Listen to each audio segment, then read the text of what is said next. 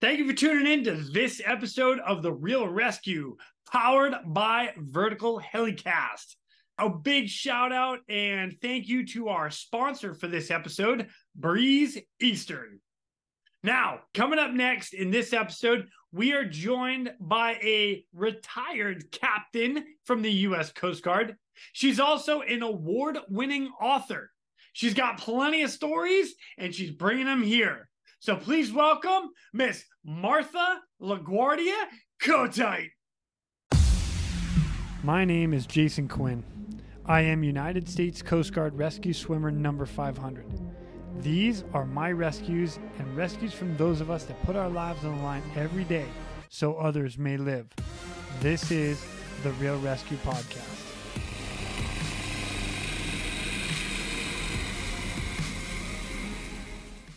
Ladies and gentlemen, welcome back to the Real ResQ Podcast. Man, I love it. You got another U.S. Coast Guard officer who's joining us right now. I'm very excited about this one because she is a retired captain out of the Coast Guard. She's an award winning author. She does keynote speaking, been on TED Talks all over the place, whole bunch of stuff that's amazing. She's also an expedition specialist, which I'm excited to hear all about that. Ladies and gentlemen, please welcome Martha LaGuardia Kotite. How are you? Hi, Quinny. It's so awesome to be here. I'm so honored to be on your show and amongst all these amazing heroes that you have interviewed. I am in awe and have so been looking forward to meeting you and talking with you. Thank you so much. Oh, my pleasure. Thank you for joining me. I mean, I I love the stories that everybody gets to bring on and, and tell. And and it actually kind of another reason you and I talked is you wrote a specific book which has stood out to me, and it's called So Others May Live. I'm gonna throw that out right away because it's all about how the Coast Guard Rescue Swimmer program came about. And you have like in-depth detail about how that, plus stories from after the inception of the Rescue Swimmer program. So yes, yes, I like it. What a, what a, what a wonderful uh, tribute to people who do so much and put their lives on the line for others so others may live. Yes. Yeah. I love it. I love it. Well, I'll tell you what, Martha, before we get too far into it, let's uh let's get a little background about you. So where you from, kind of grew up, what like what brought you to be in the Coast Guard, Coast Guard officer at that, and then you did all the way to captain. Wow. Congratulations on that. That's amazing. So how did all that happen for you?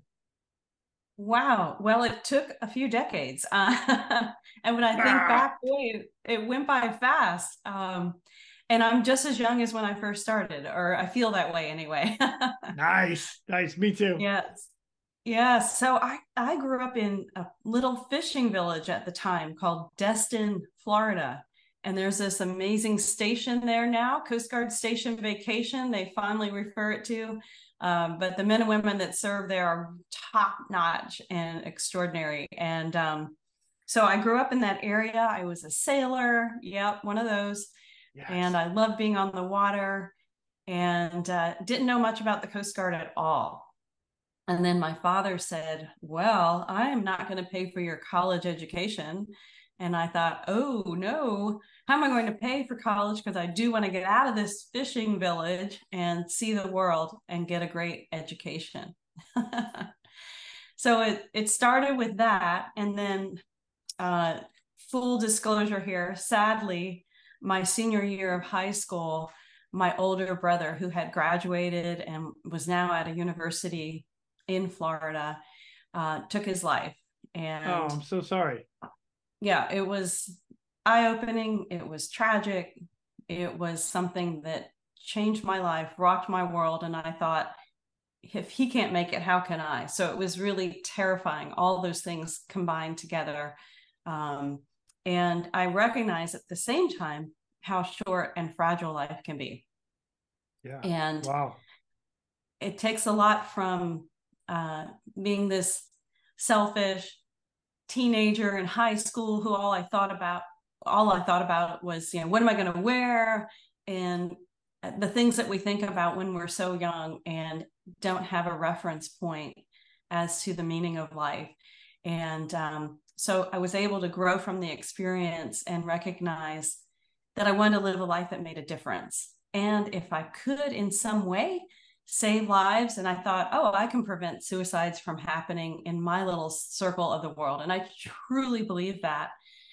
So when um, fast forward, uh, I went to Auburn University. I had applied to the service academies, didn't get accepted, got close to getting a congressional appointment for one of them, but that didn't happen. So I went to Auburn University for my freshman year and joined the Navy ROTC and quickly realized the Navy was not for me. Uh, and the jobs that they would have women do back then were not something I wanted to be a part of, in that um, gender mattered. Like you would be assigned certain positions and certain jobs. And the um, perspective of women in that service in the Department of Defense at that time was not so good. So I looked at the Coast Guard again, and this is when I realized all jobs are open. There are no gender restrictions. If I wanted to fly, if I wanted to drive a ship, if I wanted to serve ashore, I could do it. I just needed to meet the qualifications, and gender didn't matter. So, boom, I'm like, hey, I'm going to apply to the Coast Guard Academy. And I had a Navy ROTC scholarship, which could enable me to stay at Auburn and pay for my college education. And uh, thankfully, I got appointed to the Coast Guard Academy at Station Destin. I was presented the appointment letter. Yep. Oh yeah, rough. And, and right, the station awesome. vacation right off the get go. Yes, yes, that's awesome. Yes, awesomeness. But I didn't know that's what they called it back then. I was just, oh my gosh, I'm doing this. I'm doing it. So off I went to New London, Connecticut, and um, joined the amazing class of 1989. Nice way to drop it in there. I like that. nice. And then went back to Destin. So for everybody that doesn't know, Destin, Florida is what beautiful white sandy beaches. The water's crystal clear. It's warm most of the year, all the way around. It's gorgeous. Like it's gorgeous like on vacation. Yeah. so the fact you were like raised there and then or grew up there, I should say, and then went back there as your first unit. Well done. That's freaking awesome. thank you. Thank you. And yeah, so 30 some odd years later, I went back and had my retirement ceremony there. And thankfully the master chief um, said, sure, we'll, we'll put it on, we'll help. And um, it, it's been wonderful to still be connected to the Coast Guard and um, a wonderful family, as we all say. Oh, that's cool. I like that. I like that a lot. All right, so now I have to ask. I mean, I, how many years do you do? Uh, 29 plus. So I round up to 30 because it's a little more than 29. And that's commissioned, uh, doesn't count the academy time, unfortunately. So around 29 wow. plus 30 years. Jeez, oh man, good for you. 30 years. Wow. Wow. That's awesome. Okay. so uh, we got to we got to dig deep. We got to dig deep. Do you by chance remember your first search and rescue call out? Oh, boy, oh boy. Um well, and there's a couple things that immediately come to mind and and one I should share was very dramatic uh personally and professionally and I and I'm going to start with um, while at the academy during a summer, we all went out to do different summer things. So we were attached to operational units. And this goes back to the surface effect ships, which have you ever heard of them? uh, actually, no. I don't even know what you're talking about. So I'm we, starting to we gotta, sound... we got to circle that. Yeah. I know. I'm starting to sound like a dinosaur. I promise I am no, not. No, not at all.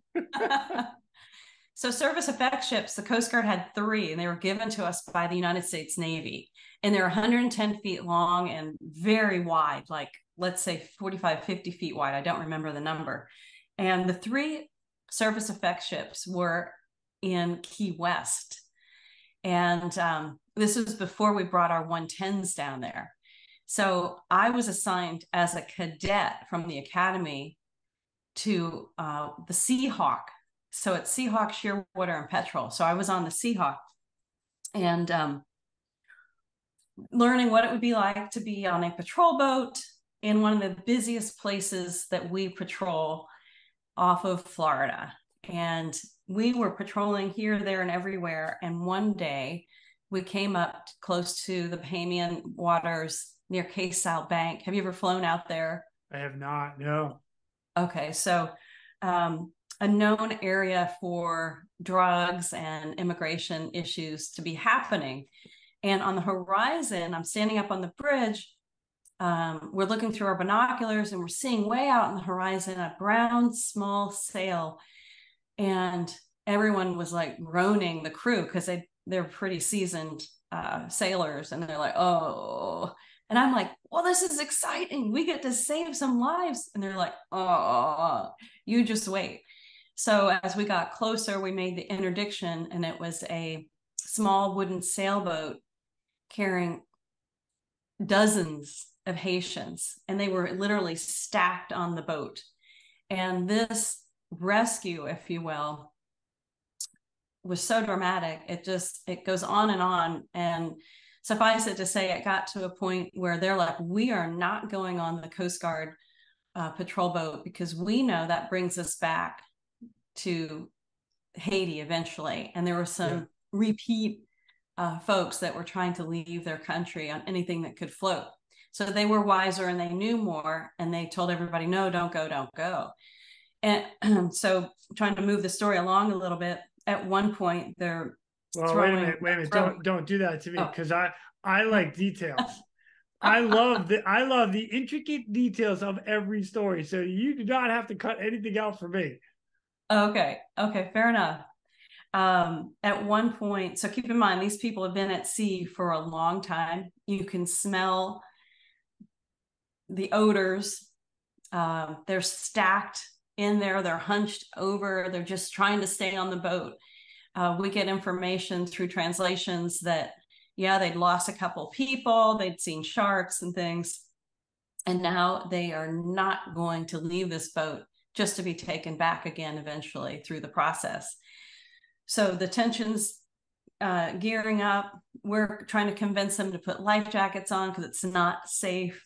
And we didn't want to see anyone drown. We wanted to help them. And of course, we had to follow what the policies were at the time. We had to do what we uh, were told to do um, officially.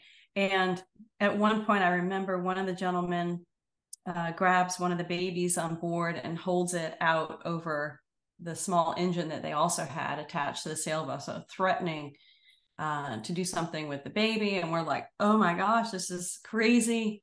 Oh. They cut the neck off a chicken and they give us some kind of voodoo curse. And I was like, holy moly. And um, so at some point, you know, all this is going on. They beach their sailboat on one of the banks there and they figure they can run ashore. They're smart, right? So they're now in Bahamian waters. They're now evacuating the boat on an island that's very remote, desolate, like a desert in the middle of the Atlantic, uh, just to the east, if you will, of the Florida, the Gulf Stream.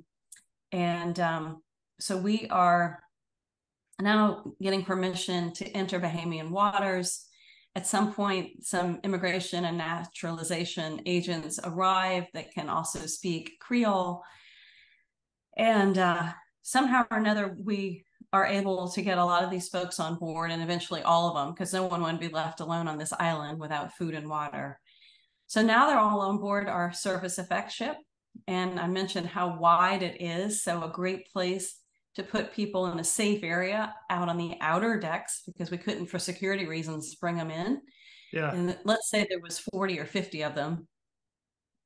Um, so we bring them forward on the bow. And um, I think we also rigged a little blue canvas to protect them from the intensity of the heat. And um, and so we start now navigating away, and the captain's planning the rendezvous with a larger Coast Guard cutter and uh, you know the watch schedule begins and we have guards on the outer deck in the passageway alongside um, the port and starboard side stopping them from going aft which is where we had a bucket which the buckets used for them to relieve themselves if they needed to, but they would be allowed like one at a time to go back there. And of course, we're feeding them, we're giving them water. They're getting yeah. really a great, um, a great uh, help, if you will. Only that they, everything's being taken care of. They've been checked for weapons and for health and safety. Uh, the only thing that they don't want is to be returned to their country. Holy cow. So now that we're underway, we're rendezvousing with a larger cutter, but that's going to be, you know, 24 or more hours away. And I know my watch is coming up. So I go to my cabin and I'm trying to get some rest before I have to be back on watch. And um, on the ship, there, uh, there's me and the cook who are women, the rest are men, and probably a similar crew to a 110, let's say 16 people and my um, I'm sleeping in the stateroom and I hear this bop bop bop bang on the door. Cadet LaGuardia, that was my maiden name. Cadet LaGuardia, Cadet LaGuardia, come up to the bridge. The captain needs you on the bridge immediately. Hurry, hurry. I'm like, what happened? Open, and open the door. And she says, There's a revolt. There's a revolt. They're trying to take over the ship. I'm like, who? She's like, the Haitians. They're trying to take over the ship. Get to the bridge. Get to the bridge. So, you know, I get dressed, scramble up to the bridge, and the captain Harry Haynes, I'll never forget it. Great leader, great officer, great commanding officer says, Okay, now Martha or Cadet LaGuardia, I want to make sure we don't run aground, and that's your job. Just keep us steering in a safe direction. make sure we don't run aground. I'm like, aye, aye, sir. So with the bridge watch, you know, our job is to navigate. And meanwhile, I'm thinking, oh my God, is someone going to come up onto the bridge? And like, what's going to happen? Will they actually take over the ship? All these things running through my mind. I'm not armed, and and I know we have security on deck that do have you know weapons or skilled training to defend, and um, so like there's I'm just imagining this hustle and bustle happening on the weather decks and worried that someone's going to show up at any point and say like give me control of this coast guard cutter. And then what do you do kind of thing. So the drama plays out. Of course i can't go look because i'm supposed to keep the ship safe. And um, so as the story goes, uh, all is well eventually. And what happened was, um, again, you know, they don't want to be returned to their country, so they will do anything to not have that happen. They've yeah. put their life on the line. They've survived over a month at sea, and they were so close. And for many of them, this has been a second time, and they've already given up everything they own. They have no possessions. This is their one and only goal is to come to America. And um, so what happened was we had people stationed on the port and starboard side in the passageway that leads down the exterior side of the ship. And one of the ladies had said that she needed to go to the bathroom. So when she was allowed to pass, and the security uh, law enforcement petty officer on that side let her pass, he was overrun by any number of the Haitian men. Wow. And so they rushed him, got past, and they were now like fighting to come to the bridge, take over the ship. Oh my so, gosh. Um, yeah. So it was very dramatic, very scary. And I was like, oh. So thankfully, everything got back, put back in its place, if you will. And we ended up rendezvousing with a cutter and offloading them. And I still remember thinking back to that moment when I first saw the Haitian sailboat on the horizon through the binoculars, thinking, Yay, we get to save somebody. To wow, this was way, way more than I could have ever imagined. And I'm sure the crew felt the same way. It's not often that that, that kind of thing happens. And you're just trying to do the right thing. And they're trying to do the right thing for them. Wow. Oh my gosh. Yeah. Oh. So that was my first rescue, if you will, that uh, happened as a cadet. And um, yeah, it was quite memorable. yeah. Holy smoke. That is not something that I would have expected. Uh, trying to overrun a, a, anything Coast Guard related boat. Oh my right. gosh. Yeah. Yeah yeah but you know my heart goes out to people like that that are seeking a better life and it's tough it's tough it's heartbreaking oh my gosh yes yes yeah Yeah. And welcome and, to the Coast Guard. Exactly. exactly. So, yeah, I mean, uh, it was quite a, a lesson in uh, how we have a job to do and our personal uh, desires or beliefs may not be able to be expressed or um, accounted for. Right. Uh, we are professionals and we do the job that we've been asked to do. Yeah. Wow. That's incredible. Well, wow. Thank you for sharing that story. That's that's wild. Not what I was expecting. Not even close. Not even but that's close. why I oh, do. Wow. I love this. This this is why I love doing this. I love these stories. Um oh, th- let me let me bring it out to another one because you actually I, I'm gonna bring this up right here. You you actually so in your 30 years in the Coast Guard, eh, sorry, 29 plus, close, close, rounding up to 30. Um, you have a couple like um I'm gonna call it tours. Like is that a tours around the ship as well as I'm assuming, yeah? Yes. Okay. So you had a couple tours with two Coast Guard cutters with all male crews. Uh that's interesting. And as you as the the officer woman on board, did you turn into like the mom? Were you like mom to everybody like gotta put everybody hey, hey, I will ground you, you will go to your room. well, it's it's so funny that you say that because um, you know, being a young officer on my second tour, let's say, my second tour afloat. So back to back, I'm now a lieutenant junior grade on a 110 foot patrol boat uh, back to Key West, ironically. Something about being there. nice. And crew of 16 men, first woman assigned to this cutter, this patrol boat in the history of that cutter. And um, the dynamics were, were, were very uh, interesting in that uh, being the first as executive officer, um, the captain that was there, thankfully for only six months, was clearly not happy that that he had a woman officer on board. Um, and that was just his personal thing. Clearly not happy. But um, thankfully, I had an amazing, amazing crew, and we pulled together. And I had to learn a lot about my position on board, being the executive officer, the disciplinarian, like you say, and the only woman. Like, how do you do this? And I didn't want to come across as being a mom. Uh, and I wanted, again, to be that professional person that's there to do a job and do it the best I can and show great leadership. And at the same time, we're all learning, right? Our, our leadership is evolving. And I remember one instance where this bosun mate, um, Duncan is his last name, Chip, Chip Duncan, uh, like a redhead from Georgia, Southern guy, so you have a little bit of that um, uh, very forthrightness. He's a little Southern, maybe a tad chauvinistic, but also really fun. He's a hunter, he's a farmer. He's on board as a bosun mate, second class. And he did something, I don't remember what it was. Um, but I was like, okay, I, I can't let this fly. I just can't let it go. So they always say, you know, counsel in private, right? I'm like, okay, all right, done report to my stateroom. So he comes in and I'm all prepared to just like let him have it. And he's standing at attention and I'm standing at attention and we're both staring at each other and the doors closed and he starts laughing.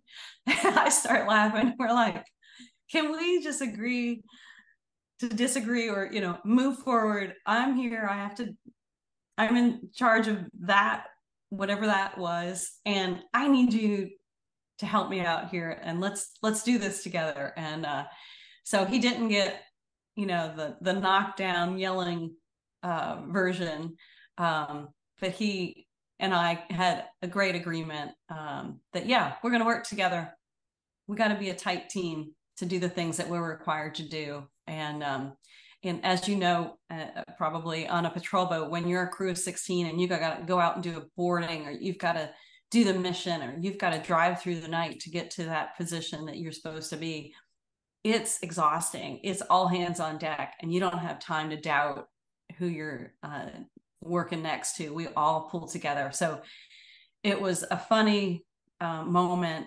Um, and there were others, of course, being on a ship. You get to know each other's uh, preferences. Like the cook knew I love Nutter Butters. So one day I walked down to the galley and he pulls open a drawer and XO, these are for you. I'm like, oh, Nutter Butters. so yeah, uh, and and it was tough from a female side in that if you were having a bad day and maybe a little emotional hormones, you know, whatever. Like, who do you go to? Who do, who do you go to yeah. to say, I have cramps and I feel like shit and oh. you just you just have to put all that aside and again that your gender doesn't matter. Uh, do the job you're supposed to do and and be a human too. Like be uh be someone that that people can count on and come to if they if they need something which is what i'd like to say i was a, a leader that the door was open come to me um, i want to help you succeed i'm i'm all about empowerment and helping others achieve their dreams nice and not just one ship you did that to you did it to two well, on the first ship after leaving uh, the Coast Guard Academy and getting my commission was a 210 foot cutter. So my roommate and I were the first two women on that ship. Nice. So it was me and one other. And when we walked aboard that ship, they clearly had not served with women before. They were not interested in serving with women. And the majority of the men made it known that uh, we really don't like that you're here and oh, by the way, women are bad luck at sea. That's the sea lore, and we believe in it. And then to add to that, when we got underway, and because I was on the deck side, uh, deck watch officer, I'm up on the fly bridge, and you know we're waving to the families, and the wives and girlfriends are all standing on the pier waving back, and they're like, they didn't like the fact that Annie and I were getting underway and sailing out to sea. Um, so there was kind of got it from all four corners and, until you proved yourself and had a small handful of folks like the chief quartermaster, uh, Steve Mackey, who I still am in touch with today, said, you know what, I, I believe in you and I know you can do this. And I'm going to make sure that you get the chance, you get the shot. So we were able to cool. qualify, do our job and, and I was blessed with the next assignment, which was such an honor to be executive officer on a patrol boat. Man, that's that's really cool. I out of my own curiosity, how did you how did you work through some of that to not deter you from being like, screw this, I forget, I, I'm I'm done with it. I'm this is not what I'm here for. How did you get through some of that, you personally? Uh, well, I, I for me, you're in that moment, you're in this assignment, and I don't think about quitting. Um, nice. It's not in my nature. Uh, you know, walk back to a tiny bit related. Um, having lost my brother, I'm now a survivor. And having gone through the academy, it showed me I can do more than I ever dreamed.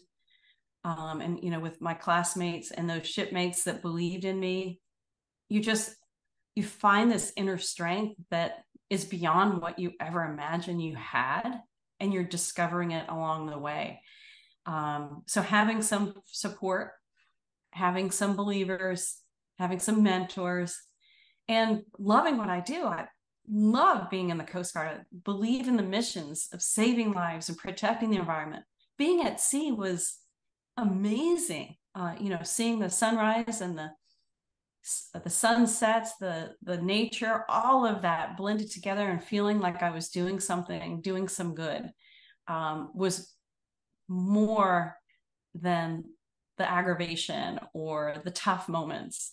Uh, and yeah, there were plenty of tough moments, uh, like we all have. Yeah, because oh, life yeah, yeah. is tough. Right. Hey, if it was easy, everybody would do it. Huh? Yeah. Yeah. yeah. Good to know. I, so I, the other part about it is um, you mentioned being at sea. So that's something that I, I actually never had to do. Uh, and while I was in the Coast Guard, I was, I'd say I went to the honor guard for two years, and then I went to aviation. That was wow. it. Yeah, I'm my impressed. thank you. My my stint on a boat was like me arriving on the boat to get a ride out for the helicopter to come get me. That was that was my extent oh, wow. of being on any boat. So uh, as you're underway and you're doing this, you guys have a very unique mission. Uh, and when I say you guys, is in the the U.S. Coast Guard boat side of the world. You know, you are the let me say the search and rescue side is not like the helicopters. And I had this, Liz mentioned it, where it was like a two day SAR case that they're going out. And you just talked about with the Haitian stuff. That's not something that, that I'm familiar with on the air side of it because we're going out like right now, go get them, come back. By the way, you've got four, maybe five hours because that's all you've got for fuel and you're done. So for you, what are some of the, the rescues that might have stood out for you throughout your time on all the vessels? Some rescues that stood out? Yeah. Um, well, I know this is rescue focused. Um, I can't I can't say that we actually did a lot of rescues, if we will. Uh, there was one case in Alaska, which sadly uh, we did have a helicopter detachment, which um, was sent ahead for a search and rescue case where the mayday call was sent by a fishing vessel that they were taking on water they called for help so we immediately you know change course. The cutter's en route to that last known position. The helicopter has launched and they're flying there and they get there first.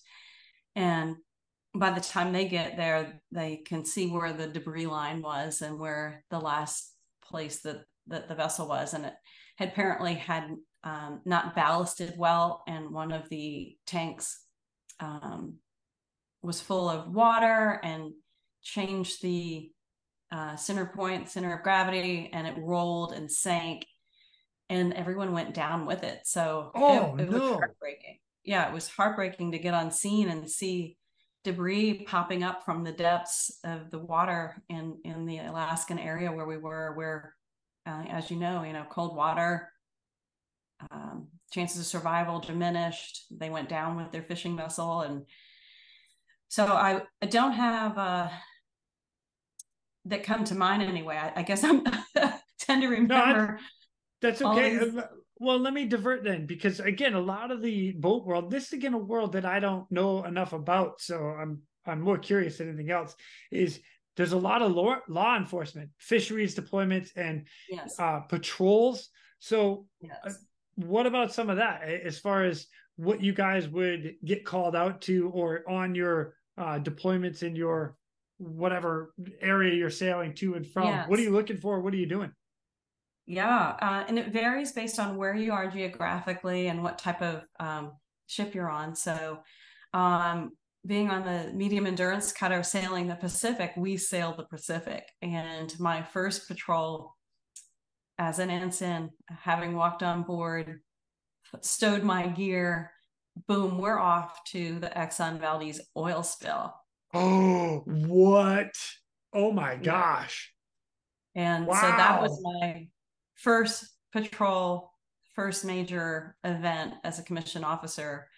And um, interesting enough, I, I do remember, you know, the armada, if you will, of fishing vessels that were coming to help clean the beaches, to help run the boom, to help contain everything. And the Coast Guard's role there was so significant. And we had, uh, I remember walking the beach with a warrant officer from uh, the Marine inspections, and we're slipping on these boulders that are covered in oil, and we're lifting things up and there's more oil underneath on the rocky shoreline. It was just horrid. And, you know, you're seeing um, wildlife covered in oil and it's quite eye opening. And the significance of that uh, case for me, not only being there for that, was that uh, this was at a time when no one, and still today, I feel like the military really doesn't want to talk to the media if they don't have to. So this was even more pronounced um, when the Coast Guard needed a spokesperson to share what we're doing. How are we making things better? To talk to these small towns, Whittier and um, uh, I'm trying to remember the name of the other town, Homer, Alaska, places that are only accessible by seaplane, maybe a train, or boat, but you can't drive there. I mean, they're isolated. And um, no one on the ship wanted to be that spokesperson to say, this is what we're doing. Here's how we're making it better. Uh, and here are the challenges. And so they needed someone to write the press release to be the spokesperson. And I'm like, well, I like writing. Um, I don't mind talking to people. I'll, I'll do it. I don't know what I'm doing, but I'll do it. So that was um, one of those moments where you're like, whoa, I can do this. So I learned uh, what I would be doing starting there for the next 30 years um, how to talk with press, how to become a spokesperson uh, for the United States Coast Guard, which led to so many other opportunities that I truly found my passion as a storyteller, a spokeswoman, and ended up being handpicked by the Commandant, Admiral Allen, to be his press secretary when I was a reserve officer, which is unheard of for any reserve oh to be gosh. activated and put on the Commandant's staff. And you can probably appreciate that being in the honor guard. I mean, oh, yeah. holy cow. Um, not many people get to do the things that you have done, uh, especially in that that position of they have vetted you and you rose to the occasion and you did it. Um, well, thanks, but this isn't about me. This is about you. oh, I'd rather talk about you. No, no way, no way, not a chance. no, this is great. So all, all the man, Admiral Allen is calling you to be part of his team to write. Wait, I hold on. I gotta I gotta back up to the Exxon Valdez thing. This is amazing. So randomly, uh, my uncle was in the Coast Guard, and he was um, so uh, Captain McGuire is what I know him as, but uh, Dennis Dennis McGuire. Do you know him by chance? Why do I know the McGuire name? But I don't remember uh, it being Dennis. Yeah, Dennis. Dennis McGuire. He so my my uncle, he was in the Coast Guard. He was actually one of the guys that went up to Valdez to to respond to the Valdez crash and that whole oil spill. And for those that don't know, the oil spill was a huge deal up in Alaska. I mean, it dumped. All, if I remember correctly, I'm gonna have to look it up. So I'll post it right here. But some yeah. stupid, big, large amount of oil went all over Alaska. And um, I remember my uncle saying, like, it actually, between the Coast Guard and the local fishermen and people that volunteered, they made the beaches and coastline of Alaska cleaner after the oil spill than it was prior to the oil spill with all the debris that they cleaned up because they cleaned up not only all the oil, but all the plastic, the buoys, this, that, what had washed up. So it, it was amazing. But the fact that you, they took you and you were letting all the towns know, because I know those towns. I flew in Alaska, so those I know. Homer, Cordova, Whittier, all yes. of them. And Valdez is a town yeah, too. Yeah. Yeah. And it's you're right. It's so difficult to get to those towns. And you're the one talking to them. Hey, this is how we're coming to help you guys. Right. Wow. And I wasn't, yeah, but I was not the only one, but I was for our ship the one that would go forward. Uh, and um, yeah, it, it really hooked me, hook, line, and sinker right then. Like, oh, I like, I like doing this. I can do this. nice. What else did you guys do in Alaska? I'm kind of curious. Oh, uh, did you ever beer. get up? Hey man, drinking beer. Woo! Did you guys lots ever... of beer and halibut? oh yes, amazing beer battered halibut, and then you mix the two together. Yes. Oh, Amazing. So good. So, so good. good. I remember at guys... one point, I don't know why this comes Go. back, but uh, I came back from a night out with my um, my roommate, and I had my bangs were cut, and they weren't cut even. I'm like, what happened? Where? why? you cut it yourself? Did, did you go in there and I fix it know. yourself? or she did. Martha, yeah. you need a bangs. you maybe you were standing on a ship and the ship was listing at the time. Yes. Yes, that's right. oh my gosh. Good um, times. Um, good times. Did you guys ever get up and do any fishing, uh, fish patrol or law enforcement up along the US and Russian waterway by chance? Um, we didn't go that far north, but we did fish off the back of the boat, caught some amazing halibut while orca are spinning around our ship. It was oh. a beautiful moment. Um, what? Yes. Oh, you didn't do that as aviators? oh, yeah, no, we didn't do that one. Yeah, that was awesome. Some great fresh fish, and uh, and then our patrols took us after Valdez. Um, we pretty much hunkered down further south and further west. Like we would go west. We went to Midway Island. Have you ever been there? No. The Gooney Birds, and there's a little golf course that you have to be careful because if you drive a, a golf ball down the beach or wherever the golf course was, you might hit a Gooney bird because there's so many of them. Um, so Midway Island, of course, is historically significant. We pulled in there for fuel, and then we also went to Hawaii a number of times and uh, looking for vessels to inspect, looking for if we had intel on anything, you know, trying to find that vessel. We also went deep south, like Panama, Panama, and all those ports uh, from Panama coming back north to the United States through Mexico and California, the coastline. It was it was pretty pretty great to uh, see all that and and be there. Dang, that's incredible. All right, so let me bring us back to the East Coast real quick because you mentioned Florida. So you were down in the Keys. Um, is that right? The Keys? Yes.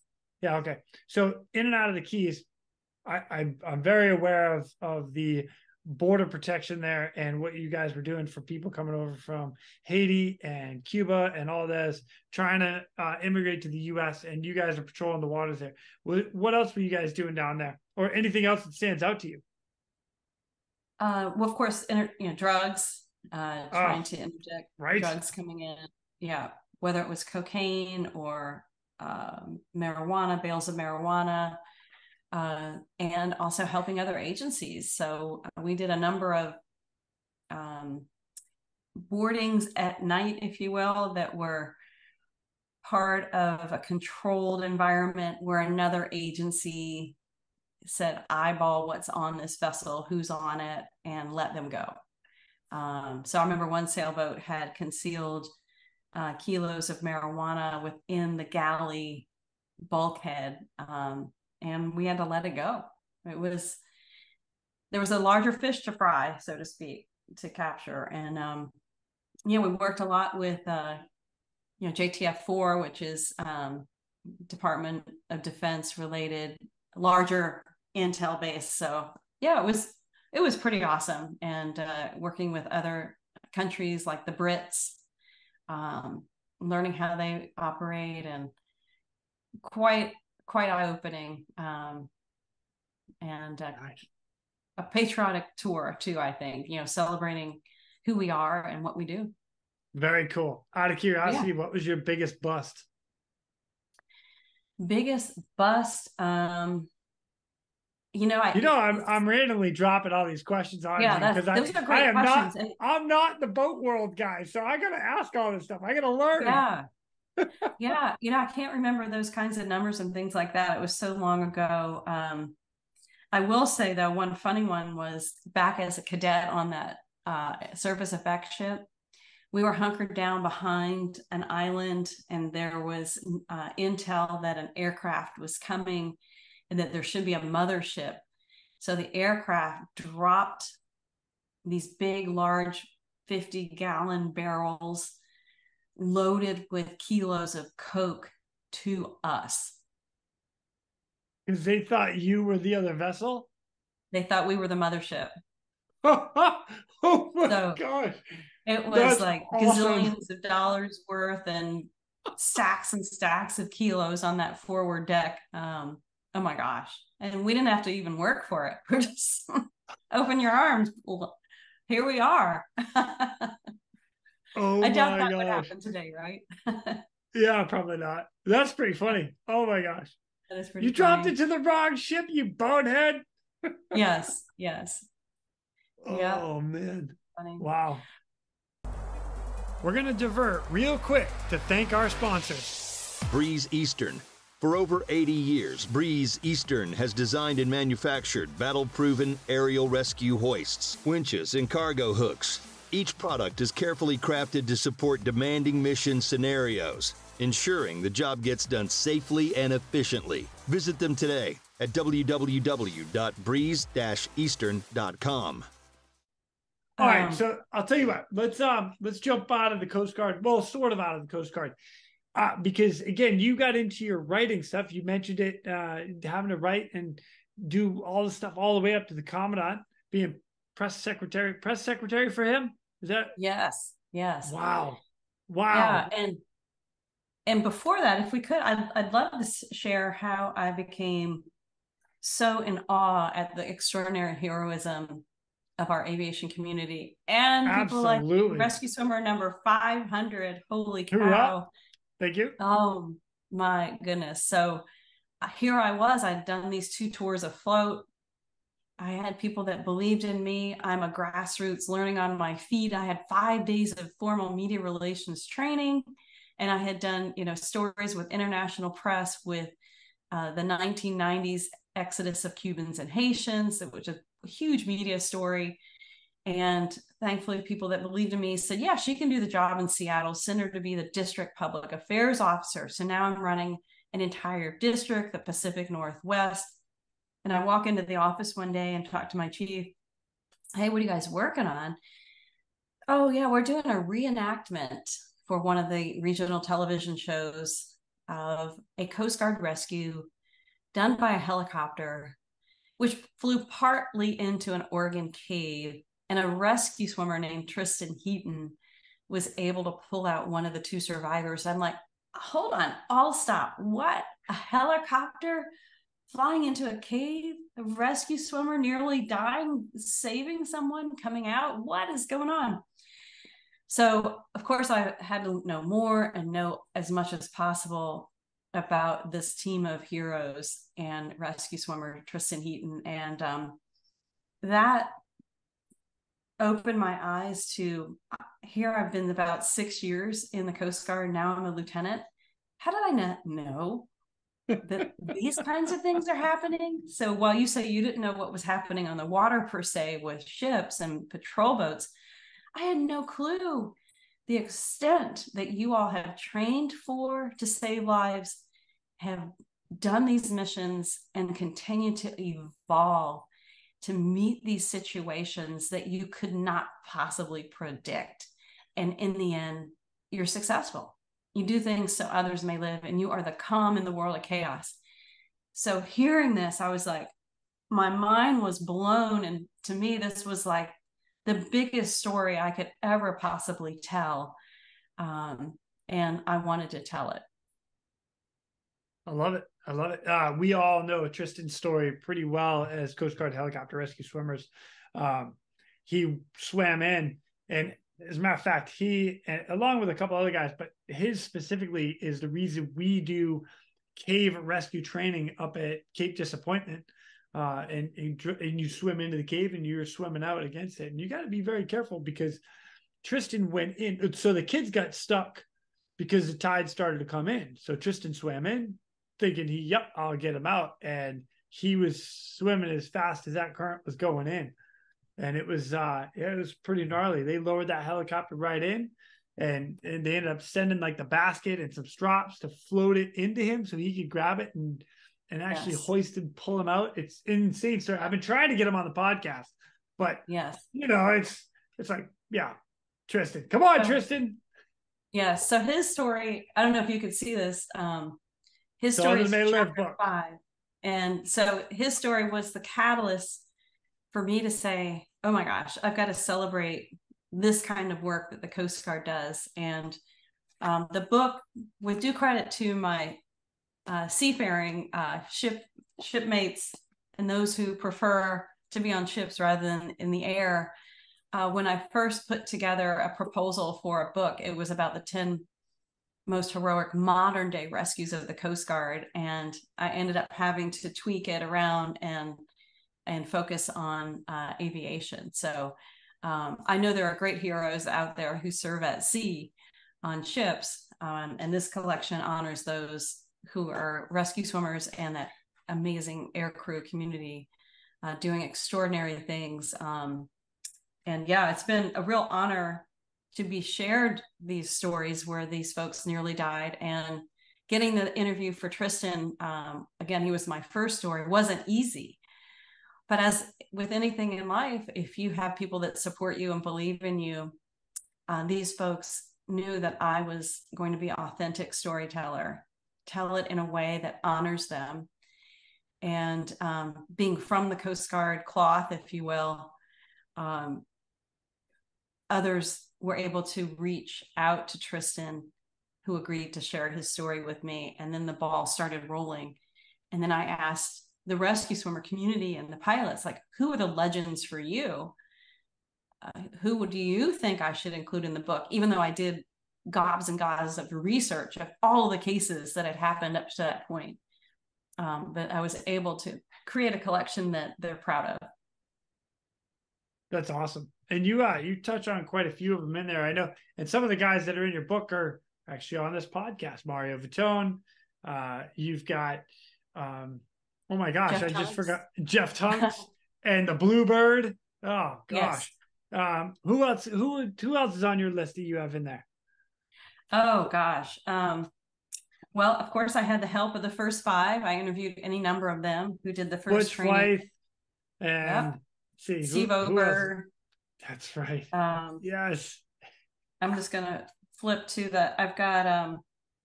Well, Tristan's to almost die. The Falls was Eric Mueller. Okay, Eric. Yep. Oh my uh, Niagara Falls. He was oh, instrumental in getting me in, in touch with Tristan. Uh, Bow Mar- Mariner was uh, Dave Yoder, and um, I got to turn to that page. You you know, I'm sure you know everyone in this book. Dave Foreman. Dave Foreman. Um, yep. Dave Foreman was a couple classes behind me. Oh, really? Yep. Yeah, him and, and I Bob... were served together in uh in Humboldt Bay. Oh, so, oh wow, that's awesome. Yeah. Yep. Bob Watson, you probably heard Love of him. Bob Watson. He was episode 150 here. It's my longest podcast episode. Amazing stories. The dude oh. is unreal. He's one of my best friends. I absolutely love the guy. Yeah. Well, he yeah. he refused to be interviewed by me for the longest time. And then I think enough people said, Come on, come on, come on, come on. She'll yep. do right by you. Yeah, that was great to talk to him. Oh my goodness. Um, and these stories are uh, have captured my heart really, and I'm proud to continue to tell them and uh, share them as a way of helping others see that uh, my motto has become be bold, be first, and be you. And that you can achieve more than you want. You can achieve your bigger dream. And I love sharing how you know saving lives can be one of those missions, can be one of those dreams, and and you can realize it. Man, I love that. You know what? I as a personal thank you, thank you for for writing that book for all the guys that have done this. this is another reason why I try to do the podcast. I like to highlight those that have done incredible things there's not enough recognition there's not enough people that know it gets it gets just lost in the wind with it just gets lost. And that's and i don't want to i don't want our stories to get lost. From the super simple going out to a haitian boat as a cadet to being up in alaska and dealing with the exxon valdez. So i just i don't i don't want to lose these stories. They're incredible. And what we do and, on a daily basis is unreal. So thank you for doing that book for us. Uh, i appreciate it, you know it, I, it, it's my honor, and uh, I have enjoyed getting to know this community of heroes. I'm in awe by them. I'm humbled by you and your group uh, of what you have been able to do. And just like you said, you know, to write a book takes years, uh, not only of the research, but then the writing and then finding a publisher. So this was, I'm not self published, I've published traditionally and I could say that's like a, a mountain to climb in a way. It's to find a publisher that likes what you're talking about, what you're writing about, and likes your writing. And but beyond all that, the the real thing that kept me going was that people like Tristan had shared with me their story and their heart, the moment where they nearly died. And when I felt like I can't finish this book, it's getting so hard, it's so difficult, or I was spending two years just trying to find a publisher you know am i going to be able to to get it published i didn't give up because i remembered i've been trusted with with these stories these heroes i have to keep going and not only was it to write this book and preserve this history but it was to show America what the Coast Guard does because we weren't on the map before Katrina. No one really knew what we did or really mm-hmm. cared. Yeah. And it was to put us on the map, it was to showcase what we do, preserve that history, and then also let the world know. Um, so now I go around the world and I continue to tell the stories on cruise ships, ironically. I love that.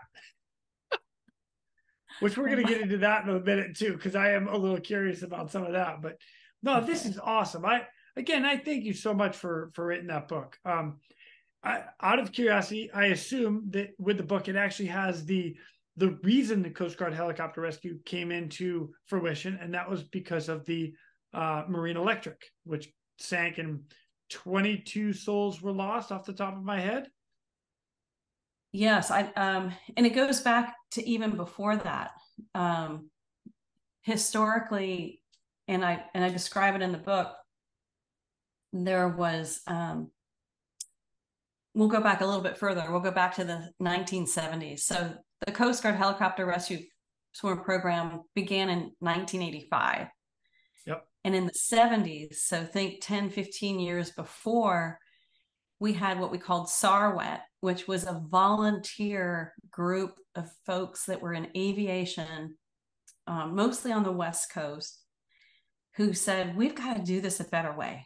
They were noticing that people in particular that were incapacitated, people who couldn't help themselves. Let's say they had broken their arm or their leg, or were hypothermic, or were unconscious. They couldn't grab that basket that was lowered out of the amphibious helicopter that we flew back then Yeah. um, to help themselves get in the basket and be hoisted up to safety. Or the helicopter could land on the water if the sea state allowed, reach out and grab the person and bring them in.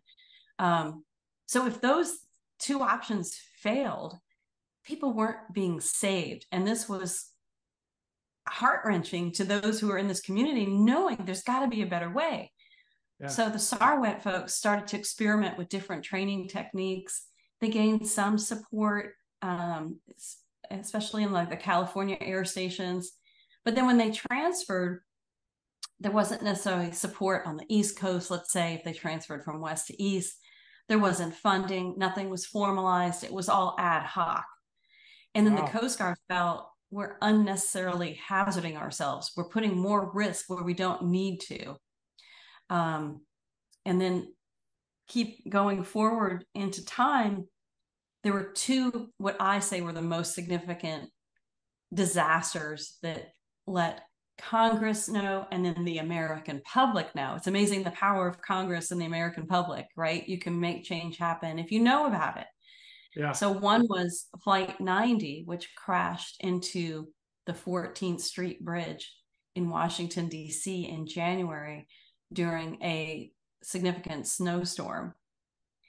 And a lot of people died, and most of them died because they were hypothermic and they couldn't help themselves. They couldn't grab the lines with life rings that were tossed from shore. The river was iced over. We couldn't get there we got bad press. We couldn't launch from Air Station Elizabeth City to get to DC because of the weather.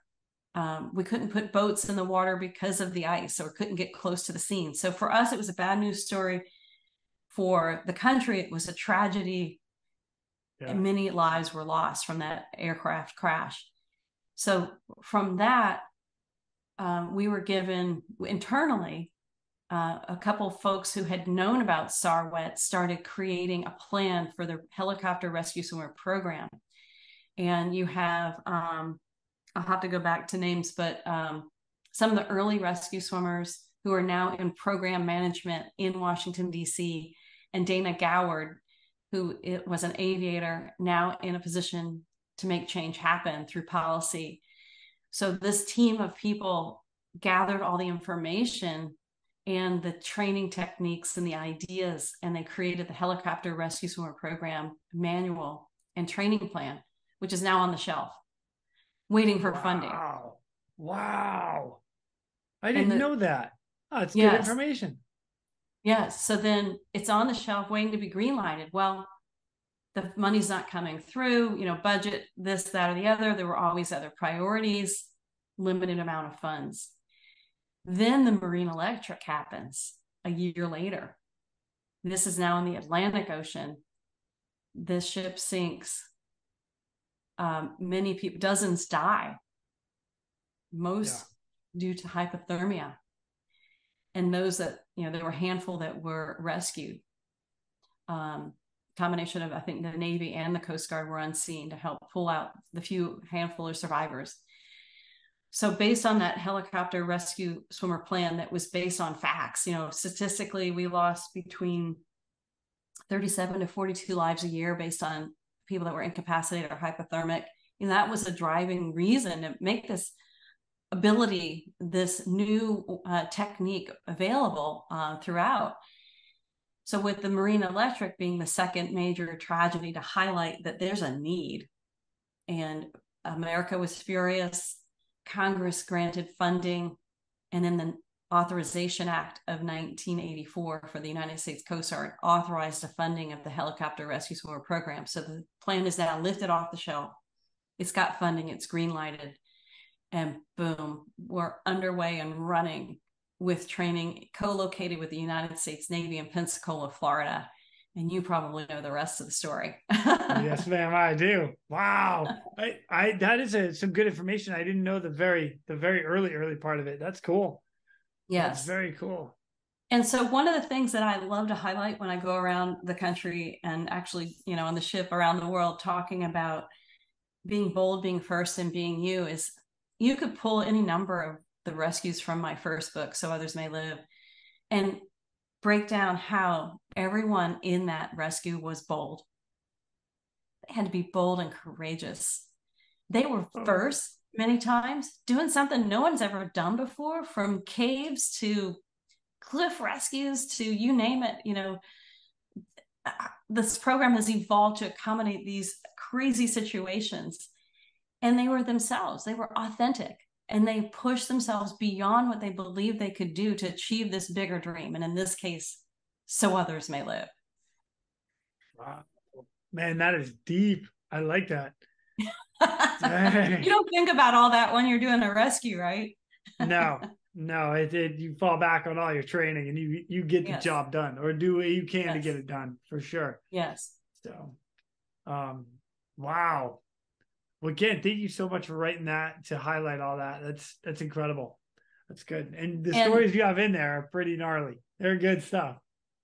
Thank you, thank you. Yeah, I'm glad, and because people are keeping it alive, this book's been out for like 17, going on 18 years. People enjoy reading and celebrating heroes like you. And I've heard folks say, "I started and I can't finish it and, in took a weekend, boom, I'm done. And it was, you know, seat of my pants or edge of the seat uh, uh, adventure. And um, there was something else I was going to say about that. Oh, so I think one of the things to keep in mind, like when we go through struggles in life or we have challenges, this program took 10 years from the Sarwet volunteers recognizing, got to do it better. There's got to be a better way to the unfortunate tragedies and then people still along the way believing there's got to be a better way. Let's let's improvise let's evolve let's create let's write it up let's formalize it in a plan let's get that funding. Anything is possible and it may take 10 years like in this case but i'm sure there are people out there that are thinking there's got to be a better way. Well don't give up. Don't give up. Don't give up. That's what i'm talking about. That's great. Yeah. Man, that's great. You actually have. Uh, I, am gonna I'm gonna skip forward a little bit because you have another book, a couple books that you've written, which another yes. one is love it. My name is Old Glory. It's a tribute to the power and passion of our flag, and um, you've probably been to a retirement ceremony where that very emotional poem is read while the hand salute is given and the flag is transition the folded flag from the most junior to the retiree? Yeah. Oh my god. I have. It's a wonderful okay. poem. Wonderful poem. I, I've been there through this war. I've been there through that war. I've stood high on this ground. I've stood high on this ground. I've been there. Yeah. Good. Love it. Good. Jeff. Love it. I am the flag of the United States of America. So I Jeff Tunks invited me, hero from chapter three, amazing rescue swimmer um, historic legend. Uh, he said, Martha, come to my retirement ceremony. I want you to share my story from your book. And I'm like, oh my gosh, I'm honored. And so I shared a story, and then I get back to my seat, and then they do the flag presentation to Jeff. And I'm like bawling because the power of the words and seeing this wonderful tribute of the flag being given to a hero. And I'm looking around, I'm like, is anybody else crying or just me? You know, get it together. And uh, so I wanted to bottle up what I felt that day. And the words actually are written by a, World War II Marine, Howard Schnauber. And I know we change some of the words as we feel fit for using it uh, to honor those who are retiring. But the book has the the actual words of his poem in the front with pictures, and then in the back, I've gone around and asked people what the flag means to them, and included some history and some things to be mindful of, like don't let the flag touch the ground, and don't fly the flag if it's torn, and light right. it up at night. Things that I think yep. we should all be aware of. And oh, let's oh, all fly while we're at it. That's right. Yeah. Yeah. Oh, I, I love it. I love that because there, there was so much. So honor guard side of it, there was a lot of oh. things that came back to me and that I learned about how you respect the flag. And, and uh, you know what? I don't care what nation you're you're at. I mean, again, go America, Team America, woohoo! Woo! Um, but I, it's funny because I traveled around the world like you, and they other countries they they represent their flag, they represent their country they hold their flag in a very high high regard, mm-hmm. and it's it's their nation. Well, you know what? Americans are a nation. That's yes. when I when I fly the American flag, like, this this is my home. Yeah, exactly, exactly. And you know what? I wish more people flew flags outside their front front porch, uh, wherever they can fly it. And if you can't fly one, maybe you have a, a picture of one in a frame. I mean, can you imagine if more flags were flying and everywhere you went you saw these amazing flags oh, it would be amazing would, i would love it love it yep fly it high fly it proud yes heck yes. yeah and we have a great country to honor and celebrate yeah agreed very much so nice well yeah that's great I, I love the fact that you wrote that one too that's yes somebody needed and to. in the women book well if you had a second could we touch on that absolutely hit it I get all so the time in the world. You know, Martha. I'm here for you all day. I don't think people want to hear us talking all day. oh yeah, but this is not about them. It's about you and I right now. That's right. then we could talk about you. I would be excited. No, it's not my podcast. It's your podcast.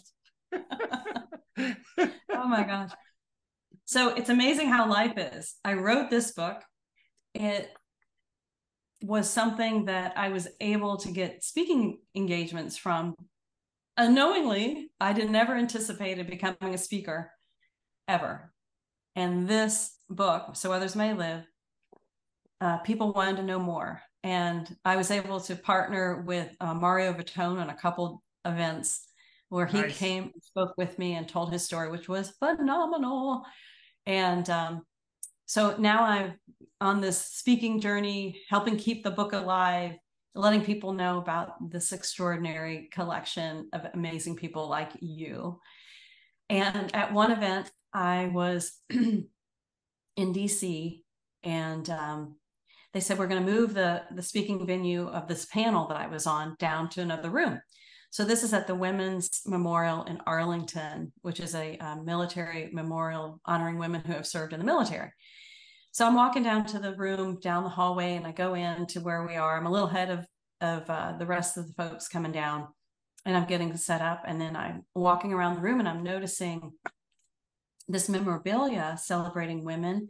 And then on a podium, a notebook, uh, you know, a few inches thick, and I'm flipping it open and I'm getting all teary eyed reading a little two inch bio of dozens and dozens of women, page after page, who had served in Iraq and Afghanistan, and they all died. They all oh, died. Wow. And I'm like, is this it? This is all that anyone will ever know of these women that this little paragraph represents who they are and what they did for freedom around the world. And it so upset me that I thought, okay, I'm going to write a book about women who have served. And at first I thought, yeah, it should be the women that have died. And then I talked with other folks. They're like, well, if you can flip it a little bit and still honor women who have served and have a collection of women that are still living, which was actually great because now I could get more information by talking to each woman and about her journey and her leadership and what did she learn along the way? What were the challenges? How did she help change the culture of the military? And how did the military help her achieve her bigger dream? And uh, so that's this book, Changing the Rules of Engagement Inspiring oh, Stories excellent. of Courage and Leadership from Women in the Military, which is also out in paperback now and an audiobook. So is So Is My Live. They're both audiobooks too. Nice. That's good because yeah. I, I do audiobooks way more. Maybe it's the podcast thing. I don't know. I just listen to stuff. You know, I'm really excited to hear and see that so many people are into the audiobooks. I personally am not, but I didn't realize it's so popular. Oh yeah, love it. Love, and this is a personal thing, just just me. I can't speak for anybody else, but man, I'll, I'll get cooking. I'll go. I'll take the dog for a walk. I'll have headphones on, and I'm oh look, thumbs up. Hey, right, thumbs up for audiobook. But I, uh, yeah, it's I do it all the time. Love them. Love them. Yeah. That's great. So, That's great. Yeah. So that book that you just wrote, the, the women in, in military and how they changed the wait, name what's the name of it again? Uh, inspiring stories of courage and leadership from women in the military. So it's all services are represented, nice. all ranks, officers and enlisted. And uh, these women have changed my life and helped me come up with my motto uh, not only from the so so others may live book, but this book, this combo was like, boy, be bold, be first, be you. And I'm now this speaker who goes out in hopes that I can empower people and inspire people to believe in achieving their bigger dream, not just their dream, but your bigger dream. So I break down, you know, some of the some of the ways to do that and share some of these stories, not only my own, um, but others, which led to um, a TEDx that I did a handful of years ago. And um, I feel like I'm talking about everything happened a handful of years ago. What have I done lately? Right. oh, we're going to find out. Don't worry. I'm asking. it's coming. you know what? I, will tell you what, I appreciate um, you and others that write books like this. And as a father of three daughters, I want my girls to have something to look at, something they can fall back and say, you know what? You, you can pave the way for yourself. You can go bigger, bolder, and take over the world. That's yes. Are you working on anything else that you're writing at the moment for possible future? Uh, I am working on a novel that um, is inspired by a true story, and it is Coast Guard related. And uh, I'm happy to say I finished the manuscript. It was very challenging and very exciting to have to figure out how to write fiction. And um, it's not my forte. I've been a nonfiction writer for years, and I'm really enjoying. And again, I have people that are supporting me with sharing some of their stories, which is why it's inspired by a true story and believe in me. And uh, so I put this together, and I can't say too much about it because I'm hoping that then when I do talk about it, I can say I have a publisher and it's going to be out and available uh, soon. But I think as this business goes, it could be a little while before that happens. It's all good. It's all good. I'm excited yeah. to hear about it already. This is this is good. Something to look Thank forward you. to. I like that. Thank you. Yeah. Yeah. Yeah. all right. So I've got I've got just a couple more questions. I've had you on for a little while, so I don't want to take too much more of your time. But um, you mentioned your you're running cruise ships right now and and zodiac boats like real maybe not even real quick. I don't even care if it's real quick or not. What what is this? What are you doing?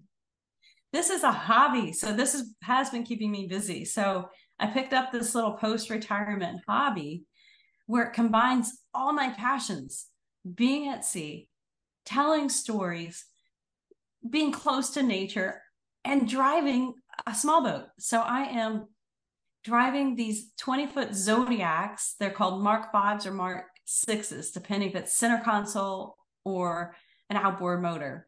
I've learned how to drive them and I am with a team called an expedition team. So I love being the boat crewman, if you will, the coxswain, and don't have to take these big leadership decisions to uh, be the expedition leader.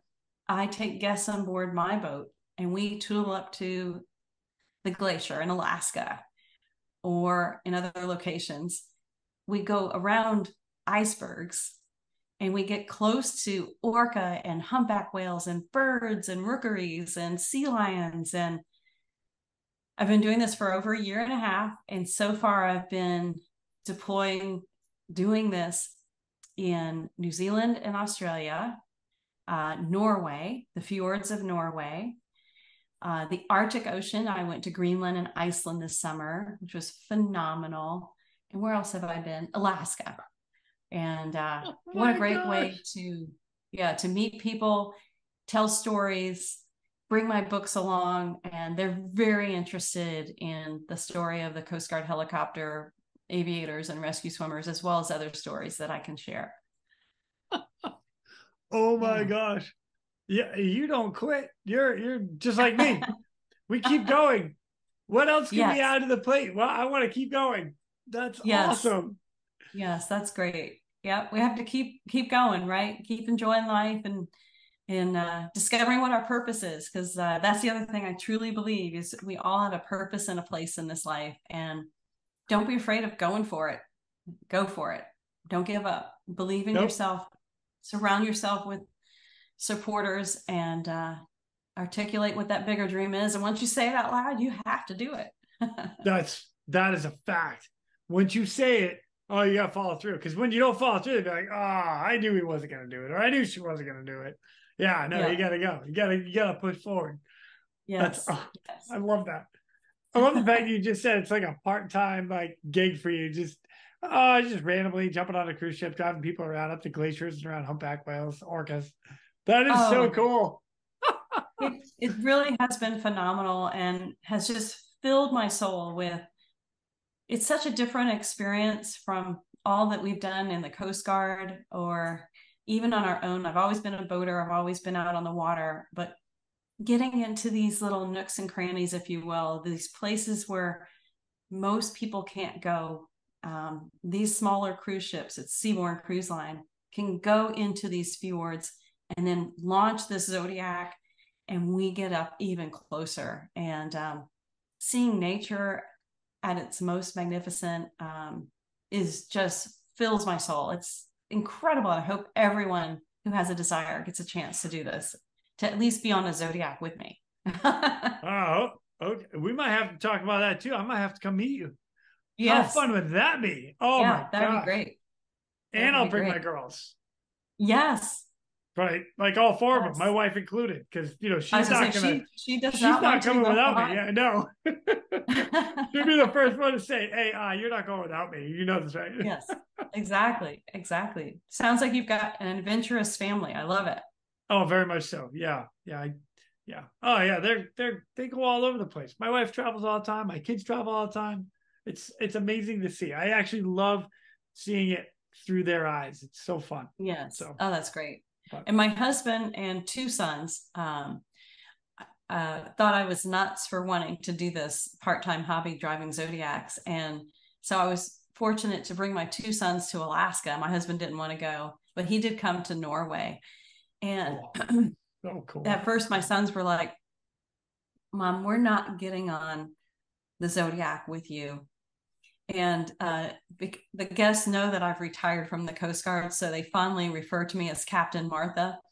So most people think that I know more than I know, right? They're like, "Oh, Coast Guard captain, we're going on her zodiac." So there's like this lineup to get on Captain Martha's zodiac. And so Alaska was over a year and a half ago was the first time I've done this. And my sons were like, "We're not going with you and because they were embarrassed they didn't want to be on the same boat with a mom with their mom right right right right but then they surprised me and they hung back and um, there's an order to you know lining up going to the side gate bringing on guests so my sons told the dispatcher hey we'd like to get on the boat with with our mom. And these other ladies heard that, like, who's your mom? They said, Martha. And they said, Oh, you mean Captain Martha? Oh, we're going with her too. So I had this crowd come on board, and my sons were part of it. And the guests uh, were so sweet. They're like, We're so happy to see your sons want to be with you. And I'm like, Well, I am too, because I, I didn't think they were going to do that. And then the guest said, So, Martha, how long have you been doing this? And we're about to go up to this glacier, right? Leave the ship, go up to the glacier. I'm like, uh, this is my first day. and they're like, oh, back paddle. You know, everybody was fine. I promised the captain I'd bring everyone back, and I did. oh, well done. Well done. oh, Martha, this has been great. Thank you so this much has for been joining great. me. And uh, Um, I, I want to know more about your story at some point. So um, we I'm can sure, talk for You sure. know, you've, you've had a phenomenal experience, and I am just honored that you wanted to spend time with me and share this with this community of listeners that you have built up. And I'm very proud of all that you have accomplished. And I thank you so much for your service and being one of the few who does so much so others may live. Well, thank you, thank you, thank you, thank you. I I appreciate that as well. I, uh, hey, for me, I'm just the host. I just I'm, I'm along for the ride of everybody else. It's it's great for me at this point. I love it. So, hey, uh, let me ask you one more question before I let you go. Is there any advice you would pass on? Thirty years in the military, made it all the way to captain. What would you pass on to everybody? Well, and and I would stick to what I've kind of been alluding to along the way is everyone has a purpose and a place in this life. And because I come from a place where early on as a young teenager, my brother took his life to, and committed suicide, and I'm a survivor of that, I'm particularly sensitive to understanding and knowing that there are many people walking around every day feeling suicidal. And I want those people in particular to understand you have a purpose, you have a place, and you can see the light because suicide is a selfish act and it's a permanent solution to a temporary problem. So, any struggles that any of us go through, we all go through them. I do too, through life, they're temporary. And if you can find a way to articulate what is your bigger dream and be bold, be first, and be yourself. Be bold in terms of, yeah, it takes some courage and it takes some risk to go out there and do what your bigger dream is. Be first. You may be the first person to step out in your portion of the world in a certain way that you believe. You may see an alternative to way things should be done, or it may be the first for you and your family. Go for it. Don't be afraid. Surround yourself with a team of supporters, people who believe in you, find people that know more than you, talk with them. How did they do it? Gain that knowledge and be yourself. Above all, be authentic to who you are, and you will achieve your bigger dream, no matter what it is. And it may take 10 years, like the development of the Rescue Swimmer program, but I believe that you can do it and you can see the light, even though it may feel dark at times. So let's all support each other, be bold, be first, and be ourselves. And it's going to be amazing. It's an amazing journey of life. Martha, beautiful. Absolutely beautiful. I cannot thank you so like enough for coming on. I so appreciate it. Uh sharing the the knowledge, the stories, the books, what you're doing now. I'm coming to hang out with you on a cruise. We're going on a Zodiac Yes. together. Yes. Maybe And I I'll jump I'll bring you back to the cruise ship. yeah, but if I jump off, then you can come save me and pull me back in. Is that cool? I, yes, we, and that's hard to do actually. Well, that'll be another discussion is how do you pull someone in okay. who's falling in the water? oh my gosh. It's a maybe little I'll, awkward. I'll accidentally fall off and then we can try Okay. it. Okay. There we go. Yes.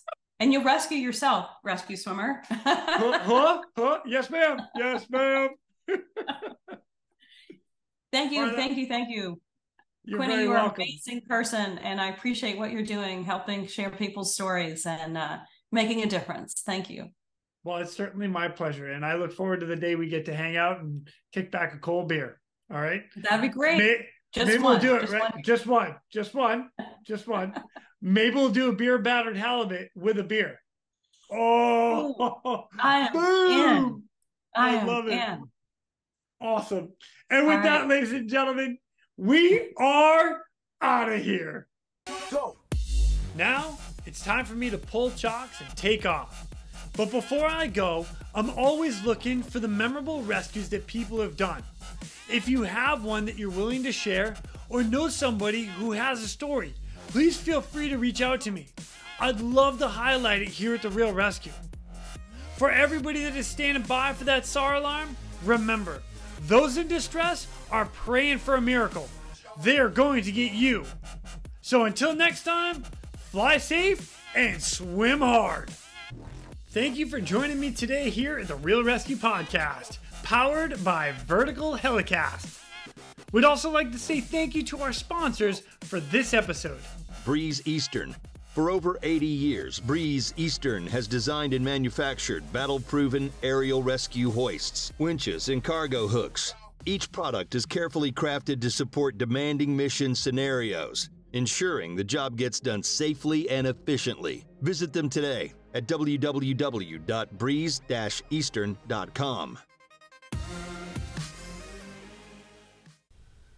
My name is Old Glory by Howard Schnauber. I am the flag of the United States of America. My name is Old Glory. I fly atop the world's tallest buildings. I stand watch in America's halls of justice. I fly majestically over great institutes of learning. I stand guard with the greatest military power in the world. Look up and see me. I stand for peace, honor, truth, and justice. I stand for freedom. I am confident. I am arrogant. I am proud.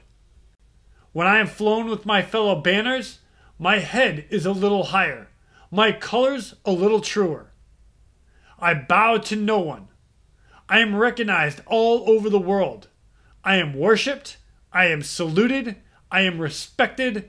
I am revered. I am loved and I am feared.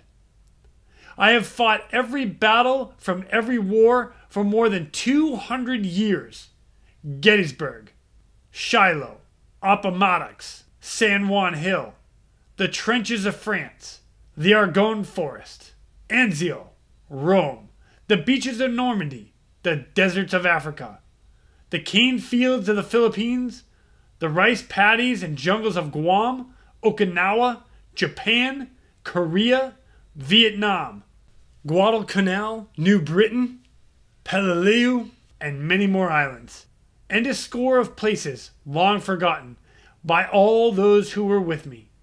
I was there. I led my soldiers, I followed them. I watched over them. They loved me. I was on a small hill in Iwo Jima. I was dirty, battle worn, and tired, but my soldiers cheered me, and I was proud. I have been soiled, burned, torn, and trampled on streets of countries I have helped set free. It does not hurt, for I am invincible. I have been soiled, burned, torn, and trampled on the streets of my country. And when it is by those whom I served in battle, it hurts. But I shall overcome, for I am strong. I have slipped the bonds of earth to stand watch over the uncharted new frontiers of space from the vantage point of the moon. I have been a silent witness to all of America's finest hours. But my finest hour comes when I am torn into strips to be used for bandages for wounded comrades on the field of battle. When I fly at half mast to honor my soldiers. And when I lie in the trembling arms of the grieving mother at the gravesite of her fallen son. I am proud. My name is Old Glory. Dear God, long may I wave.